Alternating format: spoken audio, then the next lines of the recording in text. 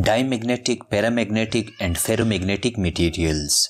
Firstly, let me teach you that what are magnetic materials.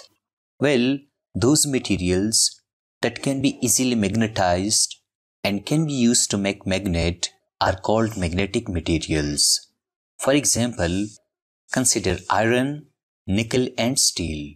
We know that magnet attracts the iron, magnet attracts the nickel and magnet attracts the steel.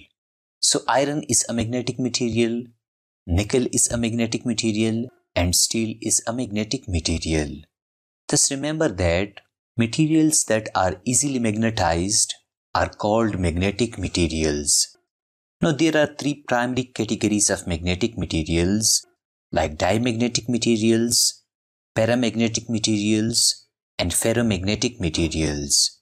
Diamagnetic materials are those materials which are weakly repelled by a magnet.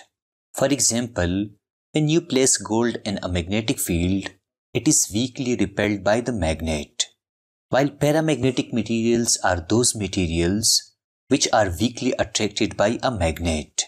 For example, when you place aluminium in a magnetic field, it is weakly attracted by a magnet. While ferromagnetic materials are those materials which are strongly attracted by a magnet. For example, when you place an iron in a magnetic field, it is strongly attracted by a magnet.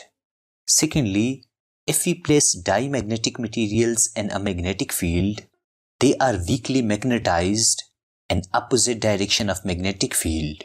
For example, if magnetic field is in this direction, then diamagnetic materials are magnetized in opposite direction, while paramagnetic materials are weakly magnetized in the same direction of magnetic field. For example, if the magnetic field is in this direction, then diamagnetic materials are magnetized in the same direction, while ferromagnetic materials are also strongly magnetized in the same direction of magnetic field. For example, if the magnetic field is in this direction, the ferromagnetic materials are magnetized in the same direction. Thirdly, when a diamagnetic rod is freely suspended in a uniform magnetic field, it slowly aligns itself in a direction perpendicular to the applied magnetic field. For example, magnetic field is in this direction, the diamagnetic rod will slowly align itself in a perpendicular direction. When a paramagnetic rod is freely suspended in a uniform magnetic field, it slowly aligns itself parallel to the applied magnetic field. For example, magnetic field is in this direction, the paramagnetic rod will slowly align itself parallel to the applied magnetic field.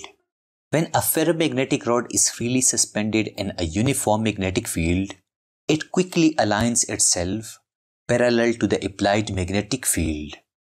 For example, magnetic field is in this direction, the ferromagnetic rod will quickly align itself parallel to the applied magnetic field. Fourthly, diamagnetic materials lose their magnetism on removal of external magnetic field. While paramagnetic materials also lose their magnetism on removal of external magnetic field. While ferromagnetic materials do not lose their magnetism on removal of external magnetic field. Remember that they are permanent magnet. Fifthly, in a non-uniform magnetic field, the diamagnetic materials move from a stronger to a weaker field due to repulsion. For example, in the non-uniform magnetic field, these diamagnetic materials move from a stronger to a weaker field. While in a non-uniform magnetic field, the paramagnetic materials move from a weaker to a stronger field with a weaker traction. For example, in this non-uniform magnetic field, the paramagnetic materials move from a weaker to a stronger field due to weak attraction.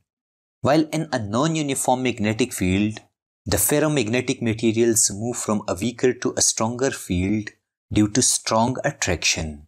For example, in this non-uniform magnetic field, These ferromagnetic materials move from a weaker to a stronger field due to strong attraction. Sixthly, the examples of diamagnetic materials are copper, gold, silver, water, air, argon, hydrogen, etc.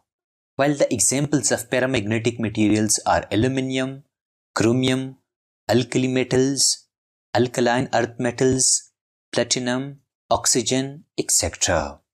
While the examples of ferromagnetic materials are iron, cobalt, nickel, steel, etc.